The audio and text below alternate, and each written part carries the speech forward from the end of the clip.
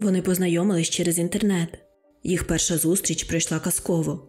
Жінка була впевнена у тому, що незабаром вони знову побачаться. Чоловік і справді зателефонував через декілька днів та запропонував провести разом іще один вечір. Жінка погодилась на побачення. На жаль, тоді вона навіть не здогадувалась про те, що новий знайомий роками будував секретний бункер для того, щоб утримувати там своїх заручниць. For now, she's a Jane Doe. 18 вересня 2015 року до відділку поліції Стокгольма, Швеція, увійшли чоловік та жінка. Поліцейський, який зустрів їх, спочатку не помітив нічого незвичайного. Відвідувач повідомив, що жінка поряд з ним його дівчина. Їм довелось звернутись до правоохоронців, оскільки родина його коханої вирішила, що вона зникла. Хоч насправді з нею усе гаразд, закохані просто були разом і зовсім забули про час. Тому, дізнавшись про розшук, вони терміново поїхали до відділку, аби прояснити ситуацію і допомогти слідчим закрити справу. Поліцейський перевірив надану інформацію. Дівчину справді шукали, але зараз вона стояла тут жива і здорова, а отже не могла бути зниклою безвісти. Полісмен запитав ім'я чоловіка і знайшов його у базі. Як виявилось, перед ним стояв досить успішний лікар-терапевт. І, хоч на перший погляд його розповідь здавалась логічною, поліцейський зловив себе на думці, що він поводиться дивно. Той виглядав занадто напруженим, а вираз його обличчя свідчив про паніку. Жінка теж трохи нервувала, вона опустила голову і намагалась не зустрічатись ні з ким поглядом. Окрім цього, її шкіра була занадто блідою, і вона постійно обіймала свого партнера. Але ці обійми виглядали дивно, руки жінки були напруженими, і це зовсім не було схоже на поведінку закоханої людини. Зважаючи на усі ці речі, які здались полісмену дивними, він порадився із своїм напарником і промовив для того, аби вирішити цю ситуацію, я хотів би поспілкуватись з кожним із вас наодинці. Будь ласка, пройдіть до сусідньої кімнати. Це звичайна формальність, яка не забере багато вашого часу. Чоловік неохоче відпустив жінку і попрямував услід за полісменом. Під час дачі свідчень він був розсіяним і ухилявся від більшості запитань. Коли жінку відвели в кімнату для допитів, чоловік нервово провів її поглядом. За кілька хвилин поліція заарештувала його. Те, що розповіла жінка, було схоже на історію з фільму жахів, яка, на жаль, стала реальністю для неї. У 2015 році 30-річна Ізабель Еріксон, псевдонім, справжнє ім'я жінки не розкривається з її власного бажання, проживала у Стокгольмі і заробляла на життя, працюючи в ескорті. Серед її клієнтів було багато відомих людей з усього світу. Одного разу на сайт, де вона пропонувала свої послуги, прийшло повідомлення від 38-річного Мартіна Трененбурга, який хотів провести вечір з жінкою. Чоловік розповів їй, що він народився в Америці, однак зараз проживає в Лондоні і працює біржовим маклером. Півмісяця вони лише листувались та спілкувались по телефону. Мартін справив на Ізабель дуже приємне враження, і коли він повідомив, що планує робочу поїздку до Швеції і хоче зустрітись із жінкою, Ізабель запросила його до себе. 10 вересня 2015 року вони вперше зустрілись. Спочатку Мартін здався Ізабель занадто сором'язливим, однак через деякий час чоловік розслабився, вони провели приємний вечір, який завершився у ліжку. Через два дні вони домовились зустрітись знову. Мартін прийшов у квартиру до Ізабель з невеликим подарунком червоне вино та полуниця в шоколаді. Чоловік увійшов до кімнати. Вони налили вино у келихи і почали спілкуватись, але після того, як Ізабель з'їла полуницю, якою Мартін вирішив її погодувати, жінці раптово стало погано. Як пізніше стало відомо, Мартін не був американцем і біржовим маклером. Він швед, який побудував успішну кар'єру лікаря. Чоловік збрехав для того, аби Ізабель знала якомога менше справжніх фактів з його біографії. В іншому випадку вона могла б розповісти рідним чи друзям про знайомство із чоловіком, і це б зламало усі його плани. Маючи достатньо знань в сфері медицини, Мартін наніс на полуницю наркотичний препарат, від якого м'язи людини дуже сильно розслабляються. Раніше його приймали для боротьби із безсонням, але через те, що він не має ні запаху, ні смаку, його почали використовувати злочинці, аби знерухомити жертву. Для того, щоб самому не потрапити в свою пастку, він позначив стебла ягід маленькими малюнками і увесь вечір підсовував Ізабель полуницю з наркотиками. Коли вона врешті втратила свідомість, Мартін зґвалтував її. Однак це не було його головною метою. Він дістав із сумки дві реалістичні маски, зроблені з пластику. Одну одягнув на себе і перетворився на чоловіка середніх років із вусами. Іншу з обличчям літньої жінки він одягнув на непритомну Ізабель. Потім дістав з машини заздалегідь підготовлений інвалідний візок, посадив у нього жінку і вивіз її з дому. Він попрямував до своєї автівки, розмістив Ізабель усередині і вирушив у дорогу довжиною майже 600 кілометрів. Чоловік готувався до цього дня майже 5 років. У своєму домі, розташованому на фермі за містом Крістіанстад на півночі Швеції, він збудував бункер, який зовні виглядав як звичайний сарай. Сховище площею 55 квадратних метрів було побудоване з бетону. Стіни товщиною 30 см та металеві двері на вході майже не залишали шансу для втечі. Всередині знаходилась кухня, ванна кімната і спальня. Був навіть вихід на подвір'я, оточене височезним парканом. Це було зроблено для того, аби полонянка могла виходити дихати свіжим повітрям, не викликаючи зайвих підозр. Ізабель прийшла до тями і відкрила очі. Вона зрозуміла, що лежить на ліжку у незнайомій кімнаті. На її тілі не було одягу, а з руки стирчала голка. Перелякана жінка висмикнула її, а потім повернула голову і побачила Мартіна.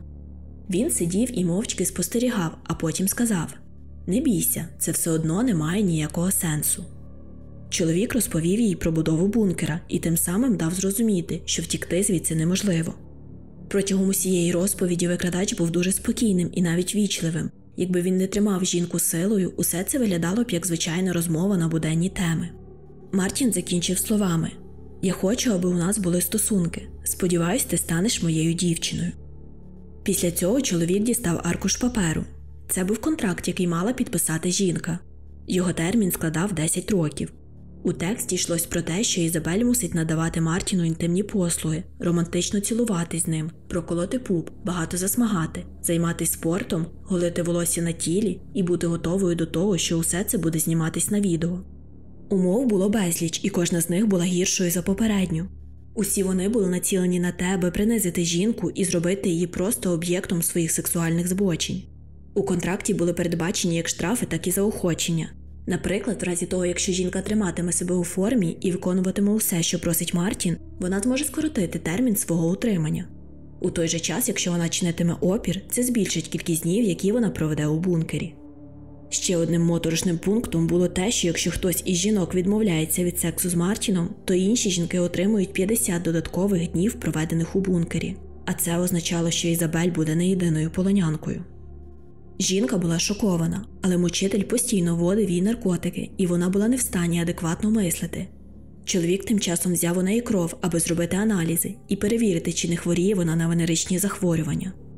Коли результати тесту показали, що Ізабель здорова, Мартін дав їй протизаплідні таблетки і сказав, що мріє про інтим без контрацепції. Хоч жінка майже постійно була під наркотиками, вона все ж таки намагалась чинити опір і спробувала втікти. Але Мартін був набагато сильнішим за неї, тому з легкістю повалив її на підлогу і прив'язав до ліжка. Тоді він промовив Хочеш кричи, але ніхто не прийде на допомогу.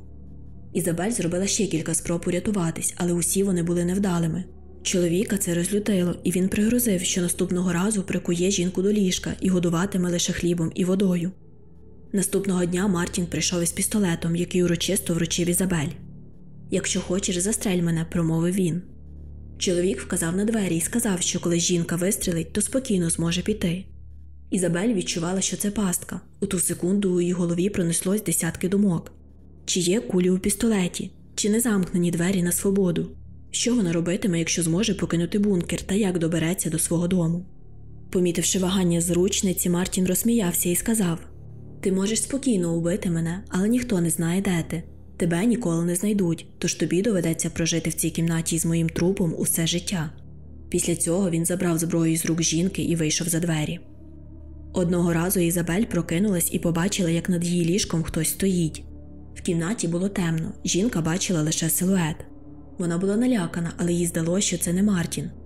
Заручниця вирішила, що ця людина прийшла, щоб порятувати її, тому вона вимовила своє ім'я і почала плакати та благати про допомогу.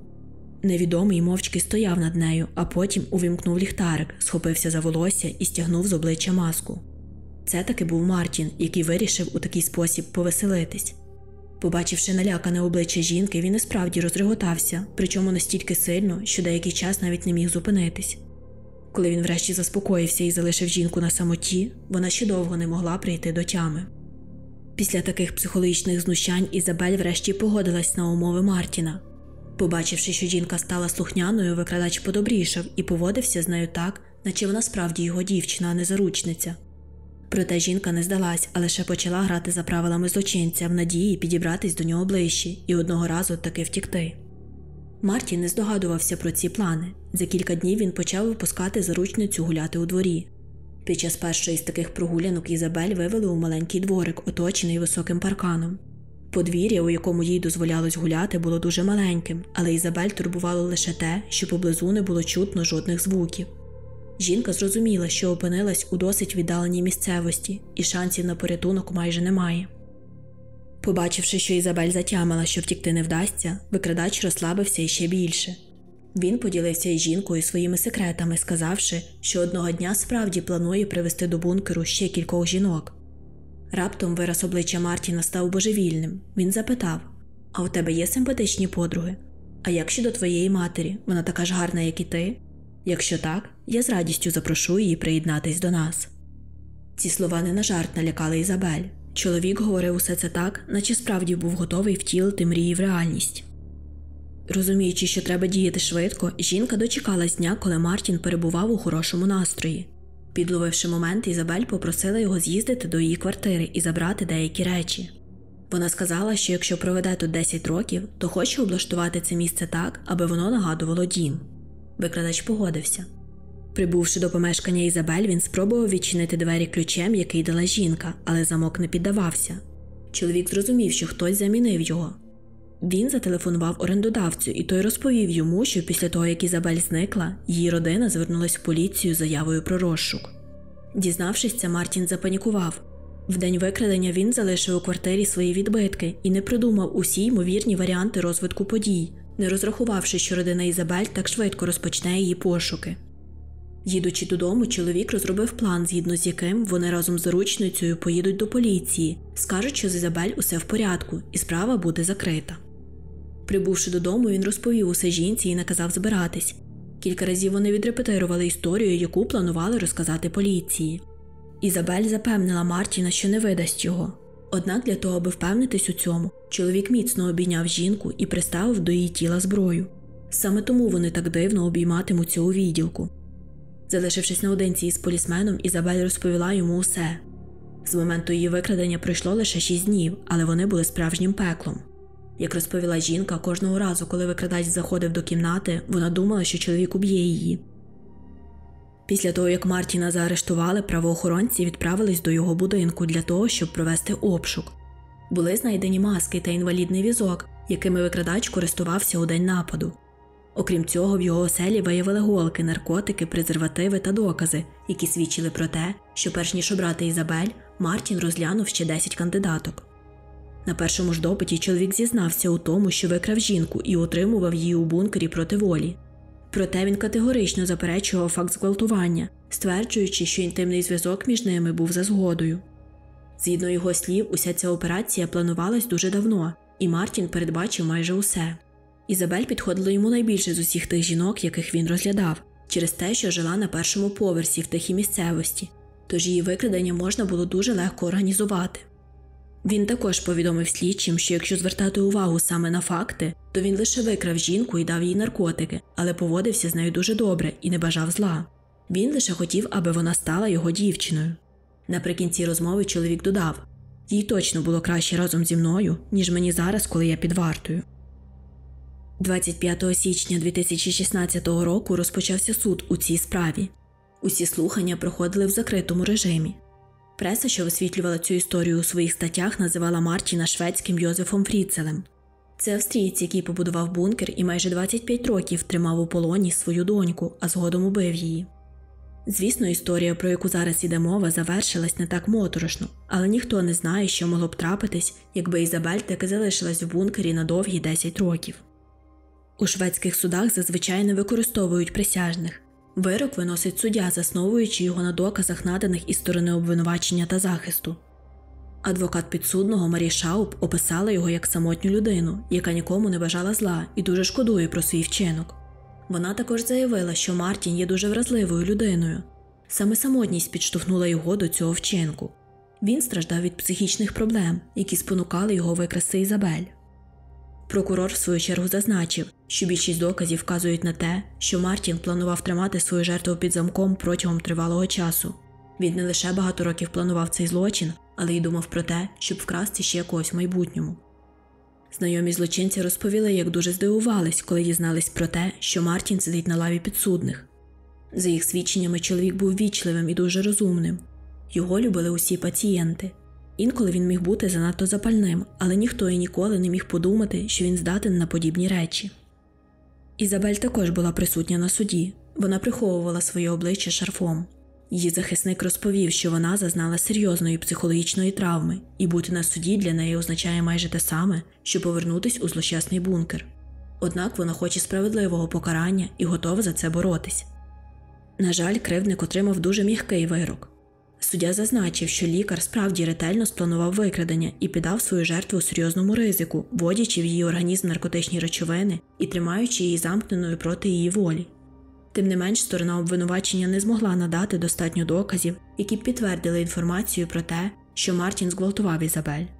Саме тому чоловік отримав лише 10 років ув'язнення. Підсудний також був зобов'язаний виплатити близько 21 тисячі доларів компенсації потерпілій. Під час інтерв'ю адвокати Мартіна заявили, що він задоволений таким вироком. Вони також наголосили на тому, що Ізабелі скортниця, чоловік заплатив їй за інтим, а отже, усе було за згодою. В свою чергу захисники потерпілої назвали рішення суду повним розчаруванням. Однак ще більше розчарування чекало попереду. Мартін подав апеляцію, і у квітні 2016 року шведський суд зменшив його вирок. Суддя розглянув пом'якшувальні обставини, які не були взяті до уваги під час перших слухань. Психологічна експертиза підсудного тоді показала, що він мав незначні психічні розлади і суїцидальні думки. Зважаючи на це, його термін скоротили до 8 років ув'язнення. А у 2021 році чоловік взагалі вийшов на свободу, відбувши дві третини свого терміну. Своє звільнення Мартін прокоментував так: Я вважаю дивом те, що я звільнився. Зараз я став дуже віруючим і часто спілкуюся зі священником. Мені дали другий шанс. Тепер я планую отримати нову освіту і повністю змінити своє життя.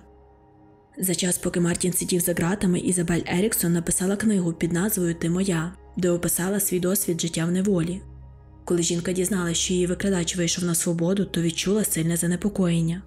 Про це вона розповіла в ексклюзивному інтерв'ю, яке дала виданню Daily Mail у 2023 році. Коли я дізналася, що його відпустили, я була налякана. У той же час я розуміла, що повинна жити далі. Одразу після звільнення з бункеру я покинула ескорт і переїхала в інше місто. Щоб подолати свій посттравматичний стресовий розлад, жінка завела аккаунт на OnlyFans, де ділиться своїми фотографіями із підписниками. Моя сторінка на OnlyFans – це мій спосіб впоратись з травмою, з якою я все ще борюсь навіть після стількох років. Я завжди була дуже креативною людиною, мені подобається позувати. Ці фото мій спосіб впоратися із стресом, через який я пройшла. На жодній із фотографій я не оголена, вони в жодному разі не порнографічні. Це прекрасні чуттєві фото, які відображають мою творчу мистецьку натуру. Вони допомогли мені впоратися із цією ситуацією. Ми усі повинні пишатись своїм тілом, і ми усі є витворами мистецтва. Тож, якщо ви хочете продемонструвати його собі та іншим, це чудово, розповіла Ізабель.